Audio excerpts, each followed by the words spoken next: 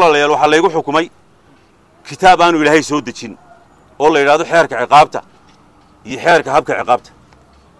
Maxkamadda waxaan ka dalbaday garsoorihii hore waxaan ka dalbaday iyo garsooraha dambeba waxaan ku idhi kitaabka ilaahay igu xukun.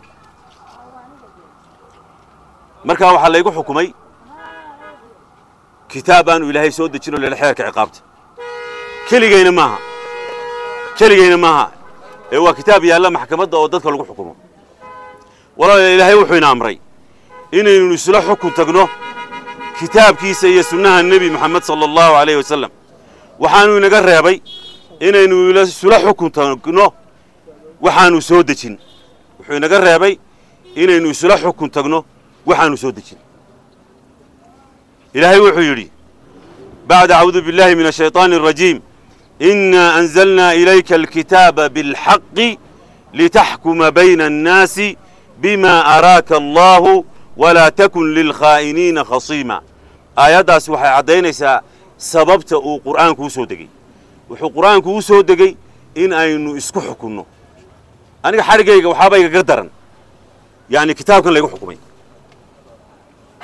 waanu idinkana waanu idinkaga darnaadaa kitaab aanu ilaahay soo dejin laysku xukumo ilaahay sidoo kale wuxuu yidhi bacda acuudu biاllahi min ashayطaani الrajiim afa xukma aljaahiliyati yabguuna waman axsanu min allahi xukman liqowmin yuuqinuun xukunka aan ilaahay soo dejin waxa weeye waa xukm jaahiliya ayay aayaddu tilmaamaysaa marka yaa ilaahay uga xukun wanaagsan duul yaqiin la yimi yaa ilaahay inooga xukun wanaagsan yaa ilaahay inooga xeer wanaagsan yaa ilaahay inooga sharci wanaagsan walaalayaa ma cid baa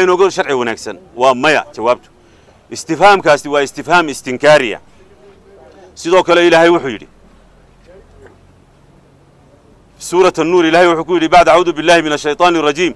ويقولون آمنا بالله وبالرسول وأطعنا ثم يتولى فريق منهم من بعد ذلك وما أولئك بالمؤمنين. وإذا دعوا إلى الله ورسوله ليحكم بينهم إذا فريق منهم معرضون. Aayaddanna waxay ka hadlaysaa isku xukunka kitaabka ilaahay. Ilaahay wuxuu leeyahay munaafiqiinta isagoo ka warramaya.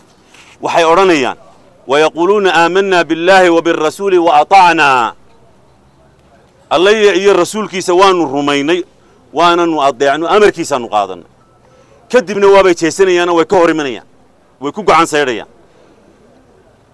waa koox ka mida muslimiinta oo munaafiqiina ku gacan saydhaya markay kadib intaa yidhaahdaan ilaahay kuwaa muxuu ahaye gacan saydhay wuxuu yidhi kuwaasi mu'miniin maaha kuwa wax diiday. Sifadoodu waa maxay? Sifadoodu waxa weeye marka kitaabka alle loogu yeedho way diidaan. Wuxuu yidhi waidaa ducuu ila allahi warasuulihi liyaxkuma baynahum idaa fariiqu minhum mucriduun. Haddii loogu yeedho alle iyo rasuulkiisa si uu ugu xukumo si uu dhexdooda u xukumo waxa weeye way diidayaan way ka jeesanayaan marka walaalayaal dad islaama ayaynu nahay. Anigu saaka waxaan soo jeedinayaa oo aan u soo jeedinayaa madaxda. Madaxda iyo madax dhaqameedka iyo culimmada iyo shacabka guud ahaan. Arrinka aan u soo jeedinayaa cabdimaalig baa xabsi ka soo baxay iska ilaawa. Laakiin cabdimaalig wuxuu idinku baaqayaa war walaalayaal xeerka ciqaabta aynu iska dayno maxkamadaheenna ka qaadno. Oo aynu ku beddelanno xeerka ilaahay soo dejiyey waxaan ku soo gebagabaynayaa anigu qadiyadaydu waxaa laga dhigay inaanu is haysanno meel iskuulis haysanno war iskuulis ma haysanno ashkhaas gaara isma haysanno ee marka la maxkamadaynayo qofka marka la maxkamadaynaya ayaa laga dhigaa inu dad is hayaan. Anigu waxaan qabaa xadhigaygu wuxuu salka ku hayaa. Waxa aan ka hadlayo xaqa aan sheegayo. Cid walbo xaqa sheegta oo taariikhda soo martay ama waa la dilaa ama waa la xidhaa ama waa la fogeeyaa waa la eriyaa. Marka anigu arrinkaygu maaha arrin aniga i gaara waxaanan idinku baaqayaa idinka dadkiinnan. Halkan jooga iyo cidday dhegaysanaysaba walaalayaal. Waxa weeye nebigu sal ly slam wuyna faray inaynu muxuu ahaye munkarka suulinno yacni mid kastaba derajadiisa gacan ha noqoto af ha noqoto qalbi ha noqoto. Mid kastaaba intuu karaankiisa ha suuliyo. Waxaan maqlay inuu islaamay aasaasihii dugsiga abaarso iyo shabakadda abaarso guud ahaanba. Jonathan isaan u islaamay. Warkaasi jeelku iigu soo gaadhay arrinkaa waan soo dhowaynayaa aad iyo aad baan runtii ugu farxay inuu islaamo. Yoolka aynu leenahay muslimiin. Waxa weeye inuu qof islaamo.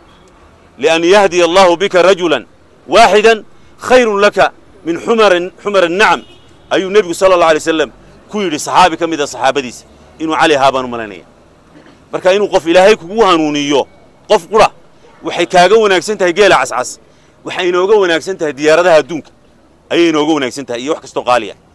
Marka inuu muxuu hayay sababtu ku islaamay ma garanayo.